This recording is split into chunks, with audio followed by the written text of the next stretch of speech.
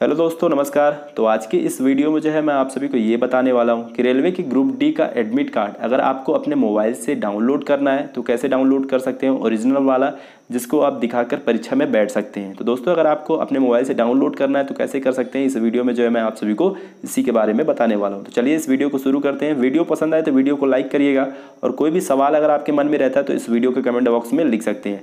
तो सबसे पहले जो है आपको करना क्या है? गूगल क्रोम ब्राउज़र ओपन करना है। क्रोम ब्राउज़र दोस्तों आपके मोबाइल पर मिल जाएगा अगर आप एंड्रॉयड का मोबाइल चलाते हैं। ब्राउज़र जो है कुछ इस प्रकार से दिखाई देता है। तो इसको ओपन कर लीजिए। यहाँ पे जो है आप सभी को सर्च करना है आर आर बी, ठीक है? आर आर बी लिखना है और सर्च कर देना है। तो दोस्तों, जैसे ही आप गूगल में सर्च करेंगे तो यहाँ पे आपको थोड़ी नीचे आना है। नीचे की तरफ़, चलिए हम नीचे चले जाते हैं और यहाँ पे आप सभी को एक वेबसाइट मिल जाएगी W W dot Indian railway dot G O V dot in ठीक है? तो इस वेबसाइट पे क्लिक कर देना है। तो जैसे ही यहाँ पे क्लिक करेंगे तो कुछ इस प्रकार से पेज खुल जाएगा। अब दोस्तों, यहाँ पे आपको सिंपल, कहीं के भी हो आप, यहाँ पे भोपाल सेलेक्ट कर लीजिएगा, ठीक है? मैं यहाँ पे भोपाल सेलेक्ट कर लेता हूँ।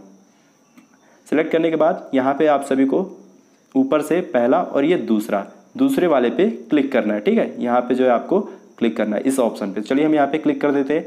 क्लिक करने के बाद दोस्तों आपको करना क्या है? यहाँ पे जो है आपको तीन लाइनें दिखाई दे रही होंगी, यहाँ पे क्लिक कर दीजिए, ठीक है?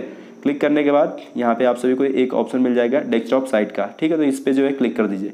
क्लिक करने के बाद जैसा कि आप देख रहे हैं कंप्यूटर में कुछ इस प्रकार से जब आप खोलेंगे इस वेबसाइट को तो कुछ इस प्रकार से दिखाई देगी। फिर उसके बाद जो है यहाँ पे आपसे पूछेगा अपना रजिस्ट्रेशन नंबर और डेट ऑफ़ बर्थ यहाँ पे सिलेक्ट करनी है। चलिए मैं जो है इसको फटाक से भर देता हूँ। तो दोस्तों यहाँ पे जो है हमने जो है अपना रजिस्ट्रेशन नंबर भर दिया और ये पासवर्ड में जो है अपना डेट ऑफ़ बर्थ सेलेक्ट कर लिया। उसके बाद जो है लॉगिन के बटन पे यहाँ पे क्लिक करना है। चलिए हम यहाँ पे क्लिक कर देते हैं। क्लिक करने के बाद जो है कुछ इस प्रकार से पेज खुल जाएगा। यहाँ पे जो है पूरी आप सभी को जानकारी देखने को मिल जाएगी कब आपका पेपर होने वाला है, कौन सी पारी में कितना बजे से स्टार्ट होगा, कौन सा शहर है और कौन सी तारीख को आपका पेपर होगा। उसके बाद जो है आपको सिंपली यहाँ पे जूम कर लीजिए थोड़ी और यहाँ पे जो है आप सभी को ई कॉल लेटर का एक ऑप्शन मिल जाएगा। यहाँ पे जो है आपको क्लिक करना है। तो चलिए हम यहाँ पे क्लिक कर देते हैं। क्लिक करने के बाद दोस्तों यहाँ पे जो है आपको सिलेक्ट करना है। चलिए यहाँ पे क्लिक कर दीजिएगा। चलिए हम यहाँ पे क्लिक कर देते हैं और क्लिक करने के बाद रेलवे रिक्वायरमेंट बोर्ड 2018 इस पर जो है क्लिक कर देना है। और उसके बाद जो है यहाँ पे सर्च के बटन पे, यहाँ पे नीचे की तरफ़ आप सभी को सर्च की बटन मिल जाएगी। यहाँ पे क्लिक कर दीजिए। चलिए हम यहाँ पे क्लिक कर देते हैं। क्लिक करने के बाद दोस्तों यहाँ पे जो है आपको डाउनलोड का एक ऑप्शन मिल जाएगा। अब इस बटन पे जैसे क्लिक करेंगे तो आपका एडमिट कार्ड जो है ऑटोमेटिक डाउनलोड होने लगेगा। यहाँ पे डाउनलोड का ऑप्शन आ चुका है तो मैं यहाँ पे डाउनलोड पे क्लिक कर देता हूँ। जैसे कि आप देख रहे हैं ये डाउनलोडिंग शुरू हो चुकी है और ख़त्म भी हो गई और ओपन कर लेते हैं।